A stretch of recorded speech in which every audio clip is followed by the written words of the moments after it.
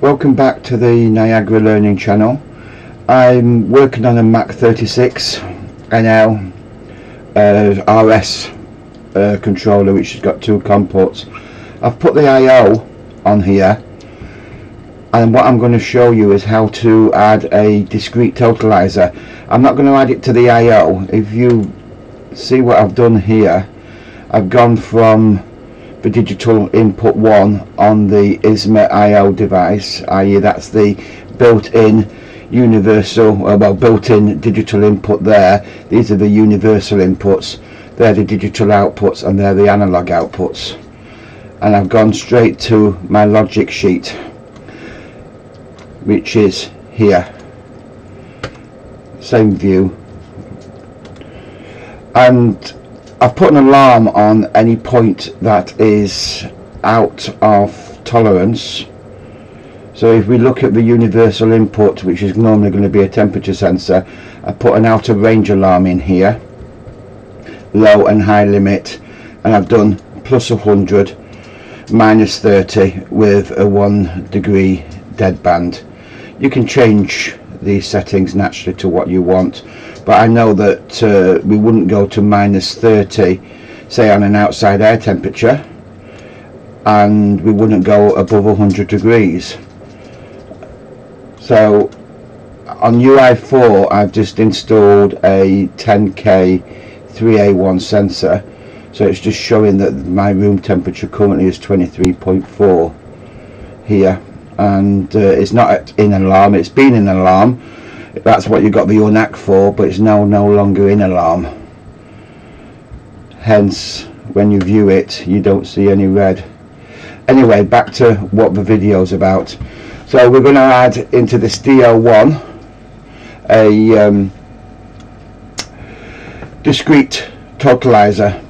So if I go into DO1 on here and I've got a boolean change of value history so if I go into my kit control palette so how you find that if you just go kit and double click control kit control I'm going to take that discrete totalizer and I'm going to move it across to DO1 so that discrete totalizer is in there now.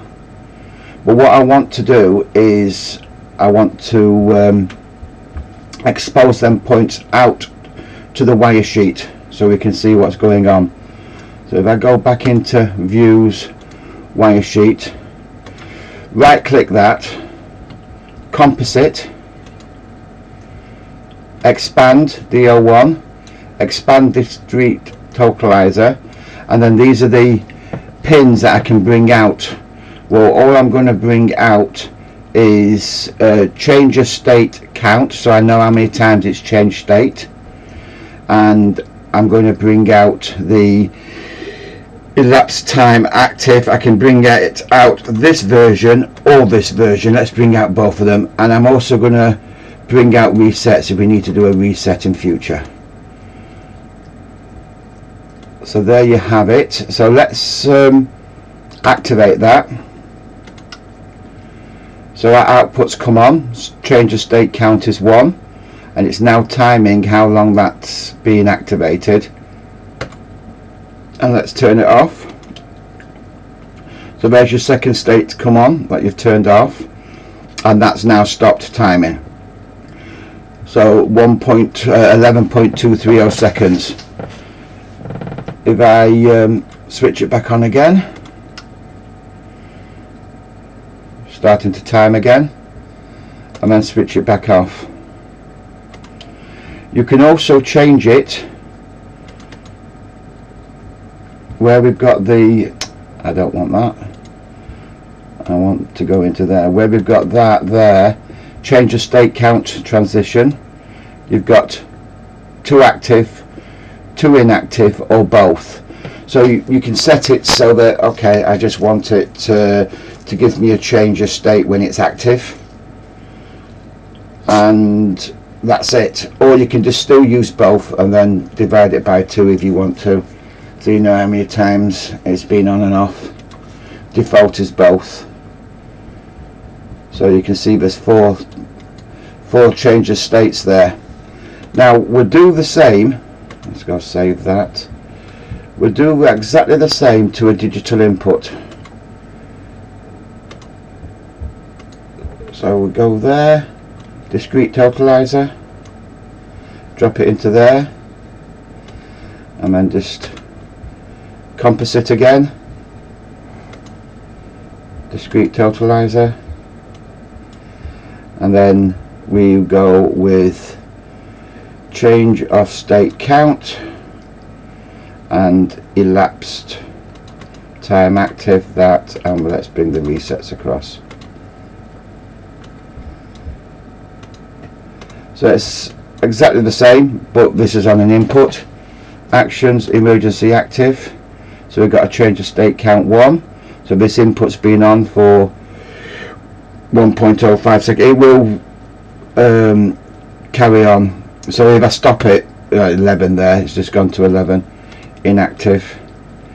So that's my two states and that's the time and you can use this if you wanted to the, the, the time. You can you can take it from your uh, into your logic. That's going to be in milliseconds. And so if you're going to go to a numeric writable I would use the millisecond one into the numeric writable. And if let's just duplicate that just to show you why I would use that go into that one there. Basically it's showing it, it's showing the same there but it's the same value it's still in milliseconds but I always just use a milliseconds one. That's just giving you information of real in seconds minutes seconds hours it's been on but I would use a milliseconds one and then I'll convert that into seconds minutes whatever I wanted two hours. You could basically um, write some logic so that you can say that when it's been on for uh, 30,000 hours or 3,000 hours you then um, change over the pump or whatever you want to and you can do this exactly the same with the outputs. Um, I think that's it. Thank you for watching